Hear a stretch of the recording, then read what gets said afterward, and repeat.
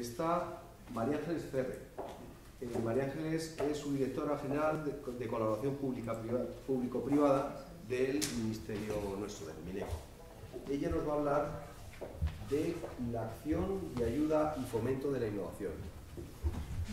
Cuando quiera. Muchas gracias. Buenas tardes a todos. Eh, bueno, escuchábamos a María Luisa Castaño, eh, a la directora general, hablar que, bueno, pues desde la dirección general tenemos dos vías de apoyar la innovación, una de forma directa y otra de forma y otras de forma indirecta. Bueno, pues a mí me toca algunas de las medidas directas que tenemos para el fomento de la innovación, como son algunas de las convocatorias y en concreto las de colaboración público-privada.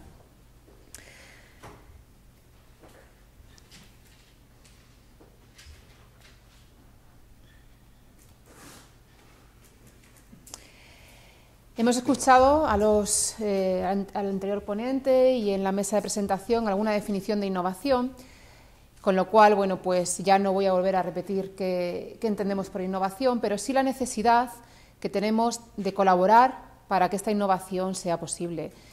Está claro que tenemos que partir de, pues, de una investigación de excelencia, como la que se hace en este instituto, que se tiene que transferir al mundo empresarial, que es al final el que pueda hacer uso de esa, de esa investigación para conseguir ser cada vez más competitivo y de alguna forma mejorar su posición en el mercado, de forma que bueno, pues sus beneficios reviertan de alguna forma en la propia administración para que ésta pueda seguir poniendo, eh, apostando por, por la I más más I. Con lo cual parece que es necesario que colaboremos. Y nosotros, la Administración, pues somos casi un, facilitador de todo esto. Lo que ponemos eh, a disposición de todos ustedes es, son los mecanismos, los programas, los fondos, no siempre posiblemente los que nos gustaría, pero bueno, eh, todo lo posible para que este mecanismo funcione. Pero realmente los actores importantes pues son eh, todos ustedes, ¿no? los agentes de investigación y el mundo empresarial. Evidentemente eh, son los elementos clave para que esta innovación llegue a buen puerto. Y para esto, pues estamos luchando por fomentar esa cultura de cooperación entre estos dos, mm, digamos, mundos, ¿no? Porque, bueno, pues históricamente no es algo que se haya potenciado mucho y se está poniendo mucho esfuerzo en que en que esto ocurra. ¿Y cómo hacemos? Bueno, pues eh, desde esta dirección general ponemos en marcha dos tipos de mecanismos para, fomentar esta innovación, esta cultura de cooperación. Uno son los proyectos, los proyectos en colaboración público-privada, proyectos que lo que financian son desarrollos tecnológicos previos al mercado, esto que también se ha repetido, la necesidad de dar ese salto al mercado. Bueno, nosotros financiamos hasta ese momento, mm, digamos, menos uno, justo antes del salto al mercado. Y por otro lado, tenemos otro instrumento que son el fomentar redes y en concreto las plataformas tecnológicas, en la que, bueno, como ya se, ha explicado al principio de la, de la, jornada y luego insistiré yo al final de la presentación, pues se pretende poner a todos los agentes de una cadena de valor de un determinado sector a trabajar juntos para mm, conseguir ese objetivo de que la transferencia de esas ideas al mercado realmente se consiga. Bueno, pues con estas acciones de colaboración público-privada tenemos como tres grandes objetivos. Primero, fomentar esa cultura de cooperación, que cada vez sea algo más normal entre nosotros, que los agentes de investigación y el mundo empresarial coopere. Por otro lado, movilizar eh, personal cualificado, eh, generar empleo cualificado en toda esta cadena de valor. Y, por supuesto, eh, mejorar esa inversión privada en, en, en I de la que hablaba la directora general, de la que todavía estamos un poco pobres. Bueno, pues así es como desde esta Dirección General, desde esta Secretaría de Estado, ponemos todo el esfuerzo eh, en poner en marcha esa maquinaria de la innovación, apoyándonos en la cooperación público-privada. Y esto pues, responde a la Estrategia Española de Ciencia, Tecnología e Innovación, que, como también eh, mencionaba la, directora general, tiene como un leitmotiv, ¿no? y es que la idea llega al mercado. O sea, eh, la investigación necesaria, por supuesto, pero con un fin, con un fin de hacer una investigación útil, algo que realmente reporte en la sociedad. Y bueno, pues eh, este, este, caminar de la estrategia se apoya en cuatro pilares, también como ya se ha dicho, apoyando a las personas, apoyando a, ese entorno favorable de I más, de, más más eh, eh, excelente, al liderazgo empresarial y, por supuesto, a la internacionalización de nuestro I más de más La estrategia, si la leemos, y la estrategia es el marco que nos va a, digamos, a, regir desde el año pasado hasta el año 2020 en materia de I más pues apuesta por una investigación, como decíamos, capaz de ser utilizada por el tejido productivo a corto y medio plazo. Por otro lado, identifica la colaboración público-privada como un elemento esencial para, conseguir este objetivo. Y da un giro nuevo respecto a los antiguos planes en los que los proyectos, las acciones siempre estaban enfocadas a dar soluciones a sectores determinados. Y ahora se plantea algo más amplio, algo más ambicioso, y es dar soluciones a problemas de la sociedad, a esos grandes retos de la sociedad que nos hemos marcado, en las que todos los sectores eh, pueden contribuir, porque dar solución a un problema de la sociedad es multidisciplinar en muchos casos. Con lo cual, con esta base y apoyados en el plan estatal, que en este caso es un plan hasta el 2016, porque el plan estatal lo que hace es regir los instrumentos con los que vamos a llevar a cabo los objetivos de la estrategia y tiene como dos periodos, un primero hasta el 2016 y un segundo que se abrirá en el 17 hasta el 20, donde vamos a definir qué vamos a hacer para dar soluciones a las cosas que nos hemos planteado en la estrategia, pues define cuatro programas estatales que coinciden con esos cuatro pilares que, hablábamos de las personas, de la investigación de excelencia, del liderazgo empresarial y de los retos de la sociedad. Esos problemas detectados eh, y que tenemos que solucionar con, I más D más I. Bueno, pues con este espíritu, colaboración público-privada, retos de la sociedad, nace la convocatoria Retos Colaboración.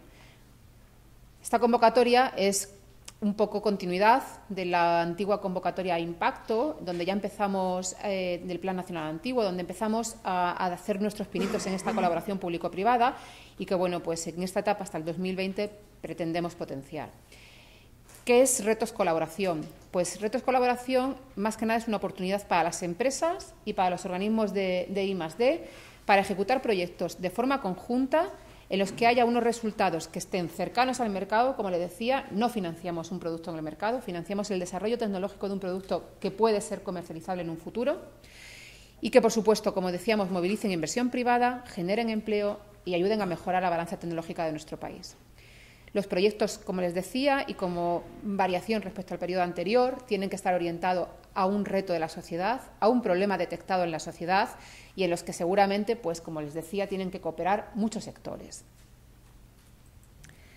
¿Y cómo son los proyectos? Bueno, pues los proyectos son proyectos de desarrollo experimental, como les decía, en los que siempre tienen que estar liderados por una empresa.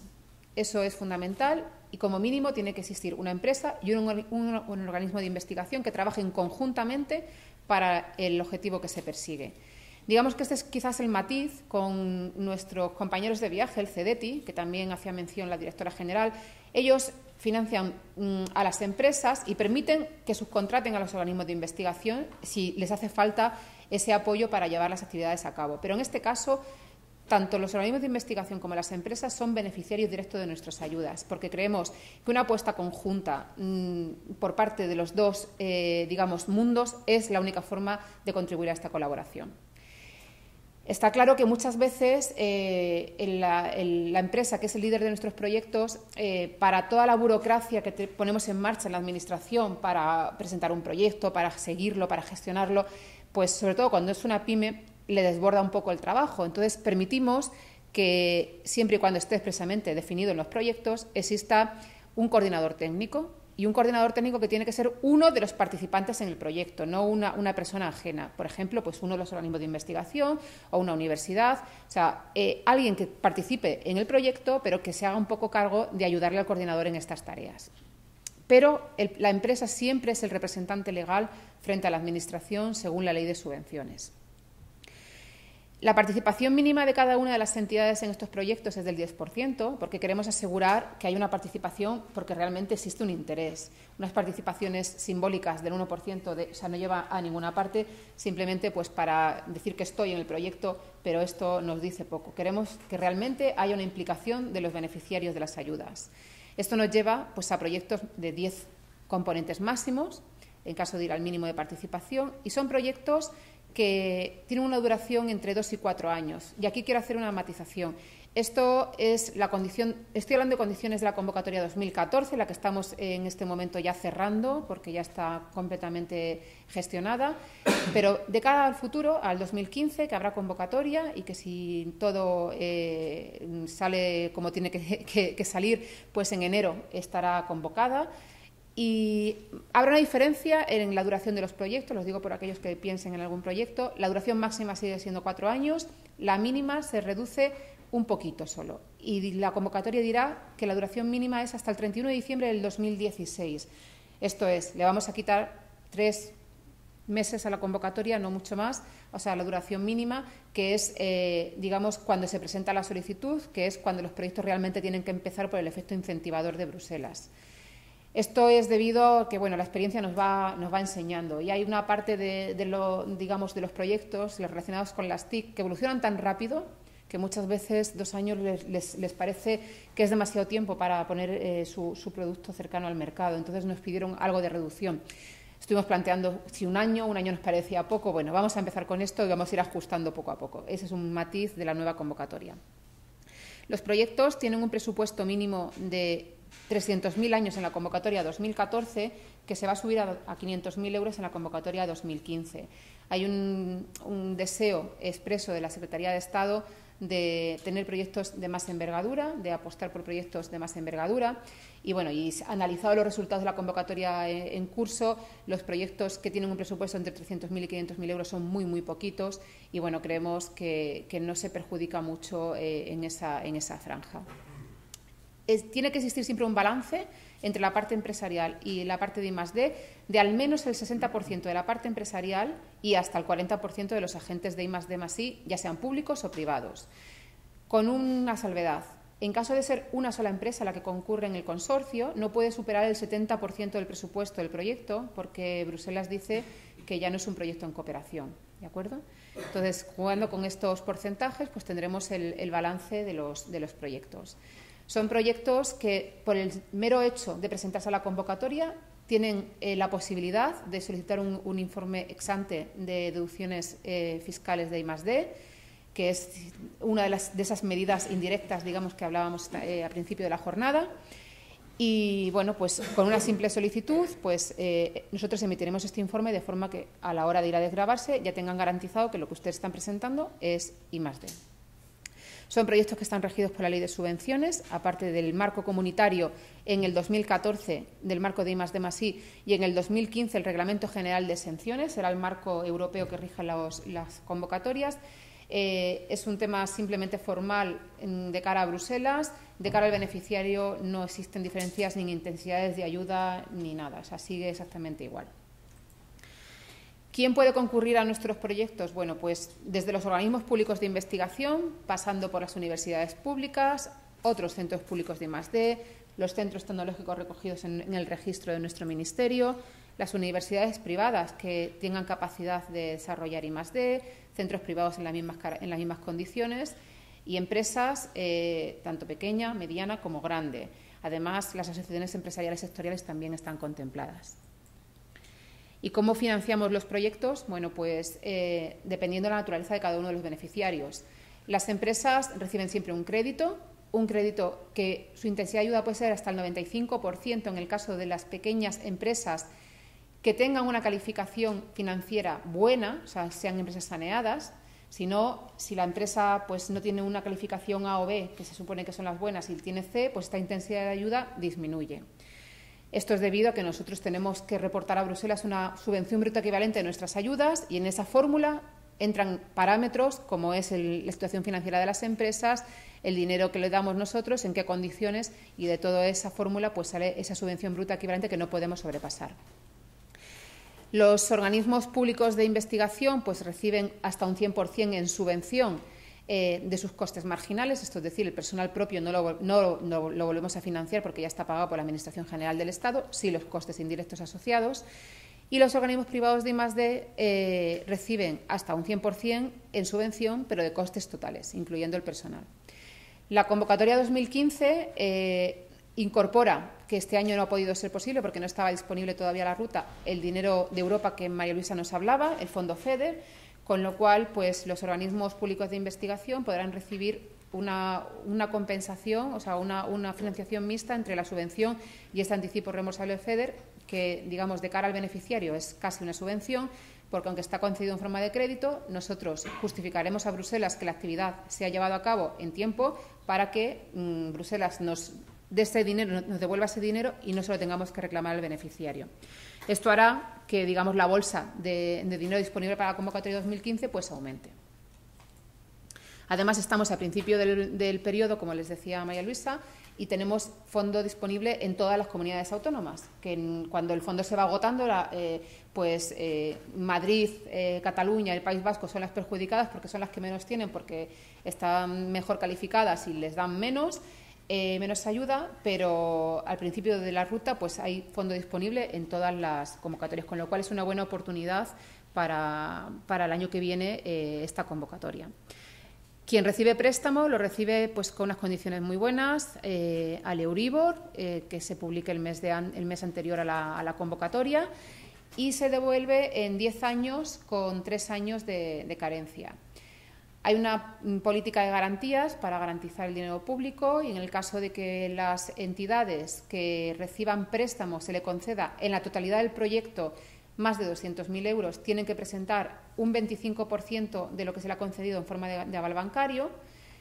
Pero si no alcanzas esa cantidad, pero participas en un proyecto en el que el total concedido en préstamo, todas las entidades que reciben préstamo, supera el millón de euros, también tienes que presentar garantía bancaria, pero del 25% de lo que se te concede. ¿Y qué financiamos? Pues financiamos personal, eh, tanto de nueva contratación como personal propio, eh, cada uno pues, en la modalidad que hemos dicho antes, costes marginales o totales. Eh, se permite a los socios accionistas, y esto es por todas las spin-off, que también se les, se financia su dedicación, porque muchas veces es el propio gerente de la, de la spin-off quien hace la investigación, y no se financian los autónomos. Aparatos y equipos, pues adquisición para los organismos de investigación siempre y cuando la vida útil coincida con la vida del proyecto y amortización de nuevos y usados en el resto de los casos. Materiales, pues todo aquello que sea necesario para realizar la actividad. No se financian consumibles informáticos ni material de oficina un informe de auditor, porque exigimos las cuentas auditadas, entonces todo aquel que no esté obligado a auditar sus cuentas, pues tiene que hacerlo de extra. Entonces, pues en ese caso eh, eh, damos una, cantidad de ayuda para que esta, año a año se pueda realizar esta auditoría. Y eh, en el caso de las empresas que están obligadas a auditar, se permite que el auditor sea distinto del que hace su auditoría de cuentas, siempre y cuando pues, sea un auditor del ROAC. No se financian los viajes para asistencias a congresos, pero sí hasta un máximo de 2.000 euros año para todas aquellas reuniones que haya que tener o visitas que haya que hacer para que el proyecto se lleve a cabo. Y esto por participante. La consultoría solamente se le financia al coordinador y esto es, eh, tú puedes contratar hasta un máximo de 10.000 euros años para que una, una entidad te, te ayude pues, a preparar la propuesta y a hacer todas las labores de gestión una consultoría. Patentes, solamente los gastos de solicitud. Bruselas no nos deja financiar los mantenimientos. Las asistencias técnicas, que no son actividades objeto de la subvención y tienen que ser objeto de subcontratación. Costes indirectos por la función de la cuenta 62. Y se admiten subcontrataciones, subcontrataciones de actividades eh, que son objeto de la, de la actividad subvencionable, pero que por algún motivo el beneficiario no puede hacerla directamente. Eh, tiene unas limitaciones que no puede ser más del 50% del presupuesto presentado y todas las limitaciones que se establecen en la ley. Recordar que estas ayudas tienen efecto incentivador de Bruselas. Esto significa que antes de la presentación de la propuesta no se puede haber iniciado la actividad de, de I y, por supuesto, no computar gastos. Y bueno, eh, también recordarles que desde este año pues, eh, se está haciendo un análisis más exhaustivo de lo que se venía haciendo, de la situación financiera de las empresas, pues para evitar que a mitad de los proyectos las empresas desaparezcan, tengamos problemas y al final pues hay mm, terceros damnificados y el dinero se termina perdiendo y es una pena porque eh, al final dinero que se podía haber utilizado en proyectos ganadores pues se pierde. ¿no? Entonces, estamos siendo un poco más estrictos con esto porque también una de nuestras misiones es velar por los fondos públicos. Y bueno, y les decía que tengo resultados de la convocatoria de 2014, la he dejado por el final por si no me daba tiempo, pero bueno, eh, si tengo tiempo pues lo, contamos rápidamente y si no, pues queda a disposición de todos ustedes. Otro de los instrumentos que hablábamos no es el apoyo directo a proyectos, sino a esas redes que lo que hacen es fomentar de alguna forma eh, esa I más de más I, la internacionalización, la participación en proyectos, todo este tipo de cosas de las que nos hablaba muy bien Jesús al principio de la, de la jornada. Las plataformas también se financian en el marco de este programa de retos a la sociedad, eh, porque bueno, pues las plataformas nacen en el 2004. Ya, para eso voy a sacar esta transparencia. Tienen una vida ya bastante larga, como decía María Luisa, bueno, pues es el instrumento que ha, ha sobrevivido en el tiempo, pues eh, ante cambios de planes nacionales, de cambios políticos, y siguen estando ahí, y están ahí por algo. Y bueno, pues eh, en el 2004 nacen las primeras plataformas tecnológicas en las que empiezan bueno, pues a intentar vertebrar los sectores, a definir sus, sus agendas estratégicas, sus hojas de ruta, analizar el sector, poner un poco de orden y unificar la voz de los sectores. Entonces, bueno, pues primeramente pues se generan una serie de documentos, más tarde pues ya se van vertebrando poco a poco, ya son capaces de, de ser nicho de proyectos para presentar a las convocatorias. Y bueno, pues llega un momento en que les pedimos eh, que nos acompañen en esta aventura nueva de los retos de la sociedad y de dar el salto más al mercado y, bueno, pues así es como les hemos pedido que trabajen a partir de ahora, definiendo pues qué es lo que pueden hacer en este sentido.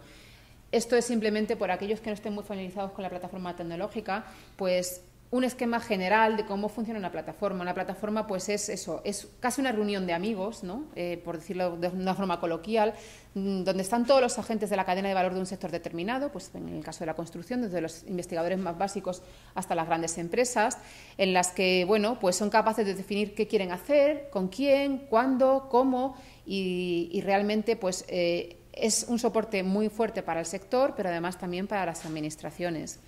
Tienen grupos de trabajo, que cada plataforma pues, define sus grupos de trabajo según las necesidades de sus sectores.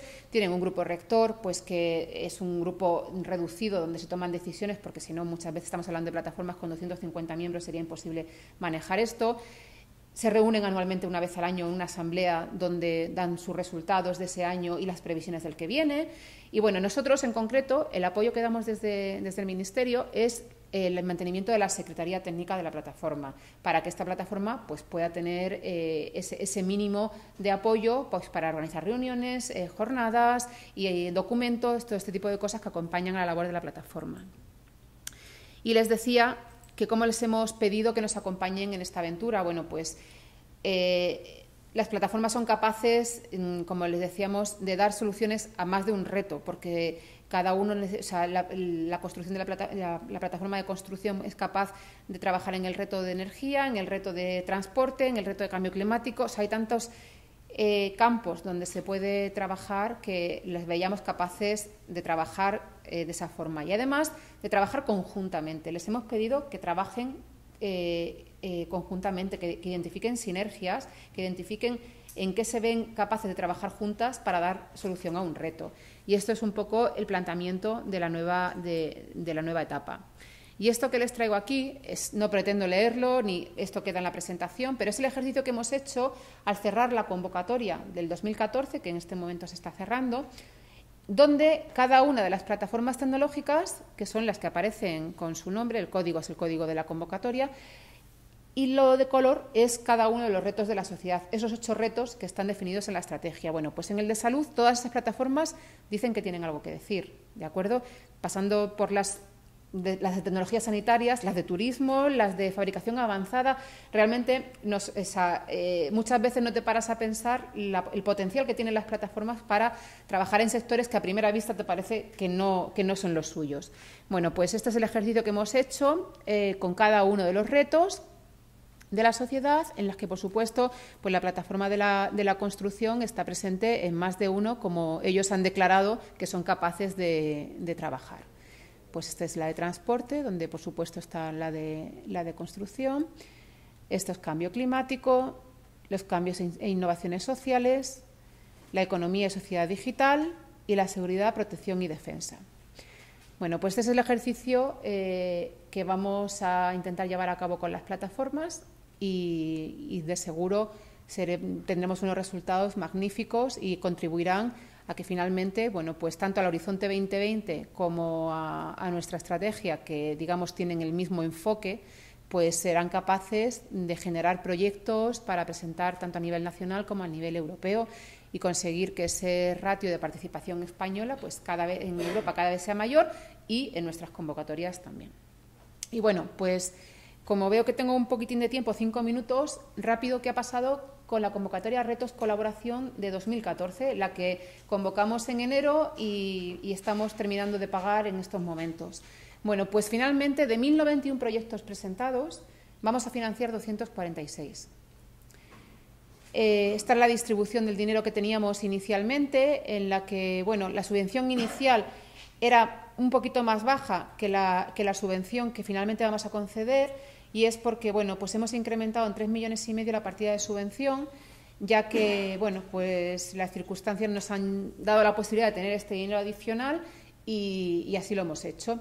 Eh, desafortunadamente, en préstamo hemos ejecutado muy poco o poco respecto al total que teníamos, que, que era pues, 400 eh, y pico millones. Y eso tiene unos dos motivos claros.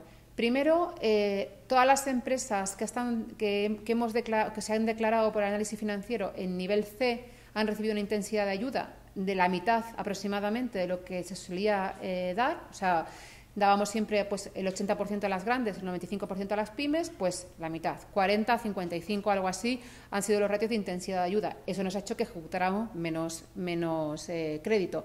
Además, no disponíamos de fondo tecnológico, de fondo FEDER en el 2014, con lo cual mi subvención que con el fondo FEDER yo la aumento ficticiamente, pues era más reducida. Y como yo obligo en todos los proyectos a que haya una parte de subvención y una de préstamo, cuando agoto la subvención, que no es muy, no es muy grande, no puedo salir ejecutando préstamo. Entonces, esos son los dos motivos de la ejecución, de la ejecución baja del, crédito. La subvención, como veis, la hemos agotado casi al total.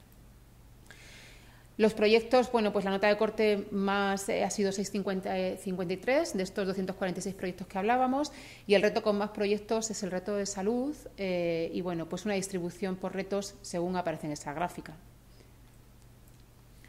Esta es la distribución, digamos, de la financiación por esos retos, en las que bueno, sigue la proporcionalidad del número de proyectos aproximadamente. Estos datos quedan en la presentación por si los quieren analizar. Los datos de proyectos propuestos para la financiación pues, tenían un valor medio de 857.000 euros.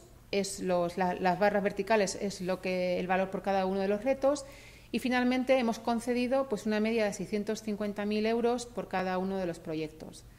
El reto 6, que a pesar de ser el, reto con menos proyectos, que es el de innovaciones sociales, y tiene dos o tres proyectos aprobados, tiene uno que es el mayor de todos, con más participantes, es un proyecto de turismo, entonces por eso esa cifra tan, tan, desproporcionada respecto a los otros.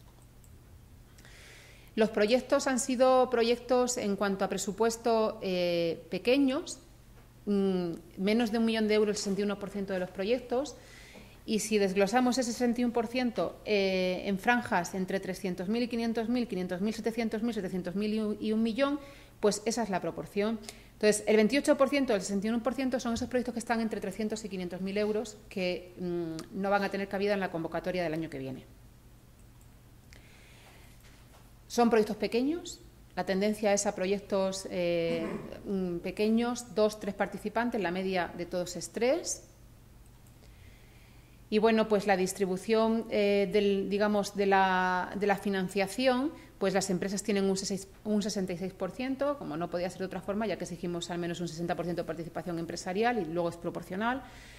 Eh, y bueno, pues eh, los, el resto de los organismos, los organismos, las universidades públicas tienen el 13%, los centros de I+D público el 2%, los OPIs el 4% y el resto la parte privada de investigación. De la parte privada, 62 Hablo siempre, 764 son beneficiarios, no son entidades. Esto quiere decir que ahí, por ejemplo, puede estar tres veces el, Torroja, porque participa en tres proyectos, ¿de acuerdo? 62 de ellos son centros tecnológicos. Las empresas, pues de ese 61% de empresas, el 63% son pymes y en cuanto a financiación propuesta, pues un poco menos, el 54% es para las pymes. Y en los organismos de investigación, pues el 66% son organismos públicos los que van a recibir financiación y el 67% de la financiación propuesta en esta parte, digamos, de subvención, pues es para los organismos públicos de, de I+D. Y si atendemos a la distribución por comunidades autónomas, pues de dónde se realiza efectivamente la, la I+D, pues así ha quedado distribuida la financiación, siendo Madrid el lugar con más eh, ayuda, seguido del País Vasco, Cataluña, Comunidad Valenciana y bueno, pues tal y como aparece representada en esa, en esa gráfica. Y bueno, pues estos son los datos de la convocatoria que acabamos de cerrar. Les decía que tenemos una nueva oportunidad en el 2015. En estos momentos estamos pendientes de la publicación, tiene que haber una publicación de la modificación de la orden de bases que rigen las convocatorias, porque en el 2014 Europa ha cambiado el marco de I+D+I, ha cambiado el Reglamento General de Sanciones, ha cambiado Minimis, ha cambiado todos sus reglamentos.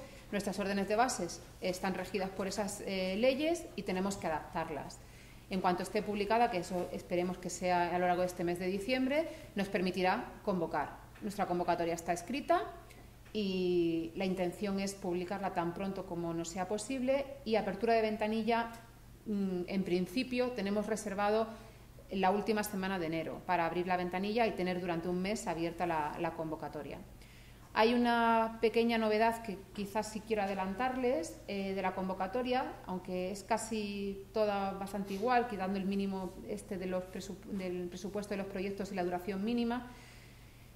Mm, si todo va bien y nada se tuerce, eh, vamos a intentar introducir una mejora que hemos eh, estado recibiendo continuamente las quejas por parte de los beneficiarios y lo entendemos, es que vamos a intentar pagar a cada uno de los beneficiarios directamente.